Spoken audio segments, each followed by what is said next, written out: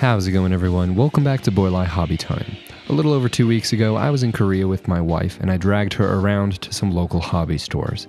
I was looking for kits that I couldn't find in the US, and these fit the bill. I bought a couple boxes, threw them in my suitcase, flew back to Colorado, and today I'm going to try and make something fun with them.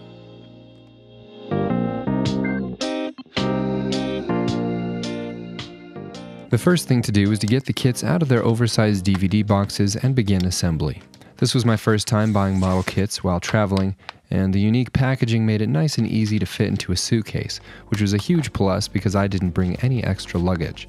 Which actually was a really good thing in the end because otherwise I would have been tempted to buy everything I saw. Snapping the pieces out of the trays was very satisfying, and everything went together with very little effort. I did end up using my own super glue instead of the provided glue because I'm impatient. I'm sure their glue holds the pieces together just fine, but it took a very long time to dry, and I didn't feel like holding all the pieces together while it did. In my experience, if there's one thing you can eliminate to have a more peaceful hobby time, it's the need to hold things together while they dry. While I was in Korea, I saw a lot of awesome model kits, but most of them were from Japan. So I limited myself to kits that were exclusive to Korea so that I could build something inspired by my time there. If I do ever go to Japan, though, I will be sure to bring a much bigger suitcase. The buildings come with some fun textured rubber mats with some templates to cut out the shape of each roof section. It's kind of a fun feature that I've never seen before, and I really like it. After the larger building was all together, I moved over to the smaller one, which instead of a house was a traditional Korean pavilion. This one is modeled after a specific pavilion located at the Busosanseong Fortress, but I'm going to be repurposing it for this build.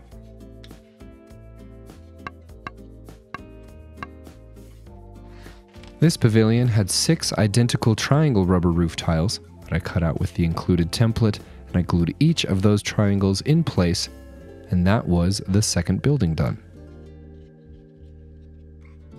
While at the hobby stores in Korea, I searched for a good traditional Korean monster to pair with these buildings, and I couldn't find anything quite right.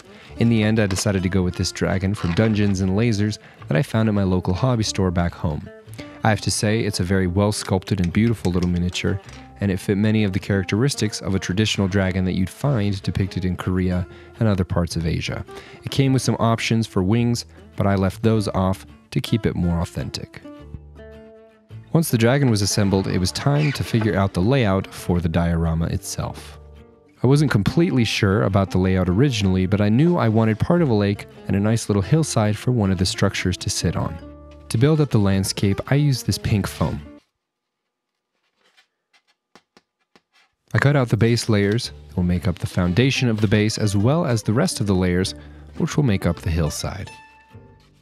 It was then just a matter of gluing each of the layers together with some hot glue and then carving away everything with a hot wire and a nice sharp utility knife. Because I didn't plan the terrain ahead, I had to go back and peel off some unnecessary layers that I had glued together. But that's just part of the fun of winging it, I guess. I cut out a little block from the top section of terrain and I carved some steps into it using my utility knife. These stairs definitely don't meet any standard of safety, but then again, neither do dragons. But it's okay as long as they look cool. I wanted some large rounded rocks to frame the house and create something of a backdrop for the rest of the diorama. I used a fake rock made from plaster to give the fake rocks made from foam more of the appearance of a real rock, which is kind of funny if you think about it. I glued the rest of the loose foam pieces together and then I added a little ledge for our serpentine friend to perch on. At this point, I had made quite a mess out of the foam, so I started cleaning it, and I began cleaning by hand, but that was taking too long, so I used a shortcut. To protect my dirty but not so dirty hobby mat, I put down a dirty hobby mat, and then I threw on some gloves because terrain paste is messy, and then I broke out the Sculptamold. I mixed up a cup and began to smear. I made sure to use multiple batches of the stuff because it sets way too quickly to have covered the whole thing in one shot.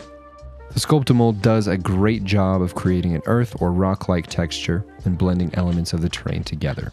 I glued the structures in place at this point because I did want to blend their bases in with the Sculptamold as well. I was careful not to get the Sculptamold on the buildings as I blended them into the rest of the terrain. To protect the rest of the exposed foam, it was really hard to open, okay? I used a mix of black paint and Mod Podge and once all of the foam had been painted black, I set the base aside to dry, and I took the dragon outside and primed it, and it was time to begin painting that. I decided to go with the color scheme for this dragon that I saw on the box. Unlike many of the dangerous fire breathing dragons depicted in European mythology, Korean dragons are mostly nice and live in bodies of water, like rivers, lakes, and in the sea. I learned that from Wikipedia. Because of that, I felt like the blue-green combo was just right for this diorama. This dragon, although very nice, does appear to be kind of angry right now. So we'll have to figure out what that's all about. 24 hours had passed and the terrain paste was all dry, so I took it outside and I primed it black. I used a hair dryer to accelerate the dry time of the spray paint. I realized I had forgotten to add the trees that I wanted, so I took this nice gnarled tree, which was a little too big, and I broke it into some smaller pieces. And then I began gluing them to the scene.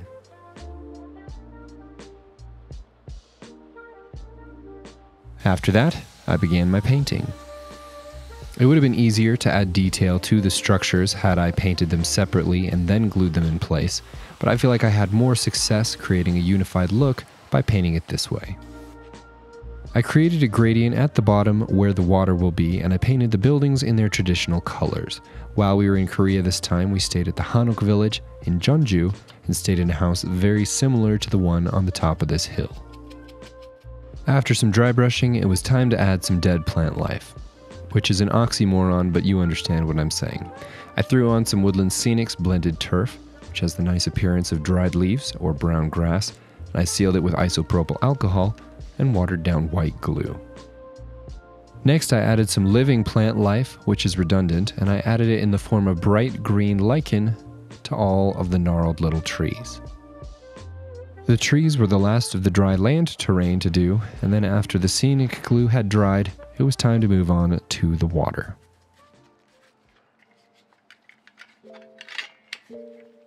I used some silicone sealer and acrylic sheets to make a dam to hold back the resin and create a cross section of the lake. In the past, I've used hot glue or tape to hold the acrylic together, but the silicone has by far given me the best results when it comes to preventing leaks. After all three of the sheets were in place, I used some tape to hold them together while the silicone cured. This took 24 hours. In the meantime, I drilled a little hole in the bottom of the dragon to anchor a brass rod, which will keep the dragon in place while the resin cures.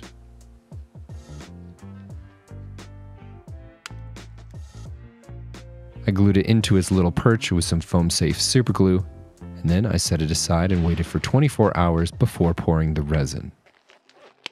In case you haven't seen any of my previous videos involving resin, it's not a very easy thing to get right, especially when you're impatient like me. This time round, I am using a slow curing deep pour resin, and I'm pouring it in two layers, which comes with its own challenges but minimizes the risk of overheating, which is arguably the easiest way to ruin a resin pour. To make sure that both of the layers were exactly the same, I used the same amount of resin for each one and I mixed in the same amount of pigment as well. After it had been thoroughly mixed, I poured it into the box. The stick helps prevent large bubbles from forming and mixing to the bottom of the resin after it's been poured from this distance. There will always be some bubbles that form and float to the top, which you can pop with a butane torch. After the first layer had cured enough to be past the point of overheating, I mixed up the second batch just like I said, exactly like the first, and I added that. I popped the bubbles, and then I left it to cure for about four days.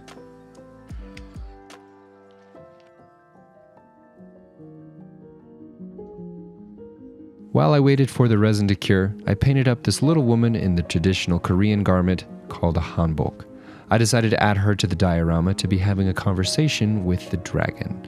And while I paint her, I'd like to give a huge thank you and shout out to all of my patrons.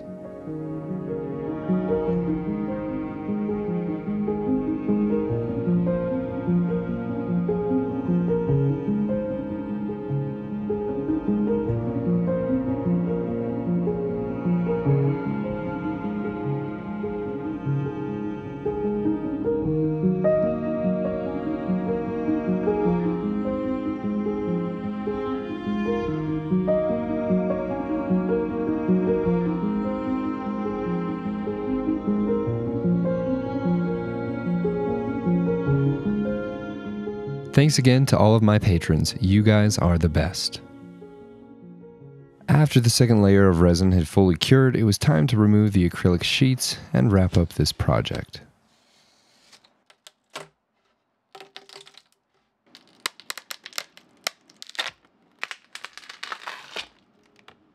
I cleaned up the messy sides of the diorama with some styrene sheets that I had spray painted black.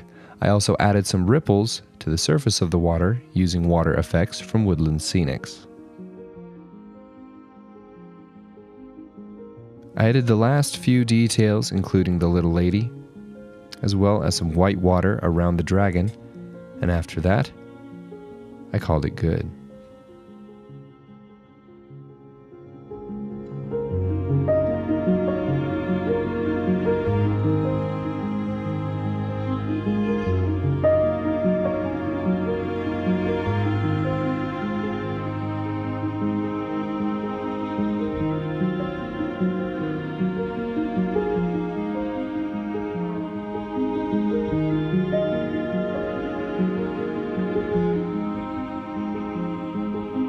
That is it for this video. Thank you all so much for watching. Hope you enjoyed. Have a great week, everyone. I'll see you next time.